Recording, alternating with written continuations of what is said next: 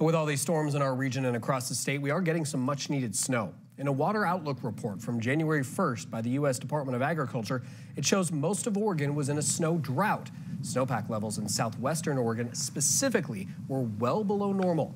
A hydrologist from the agency says now we're seeing levels much closer to normal.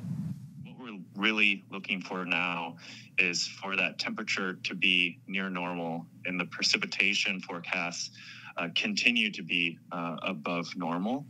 Um, but right now, both the seasonal outlook and the outlook for the remainder of January is calling for a higher probability of above normal temperatures. Warburton says peak snow accumulation for Oregon is towards the end of March.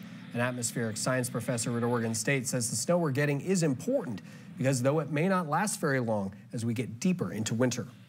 The forecast models are, are projecting a shift toward warmer than average temperatures, not necessarily below average precipitation, but probably not as favorable for snowpack accumulation as what we've seen over the last couple weeks.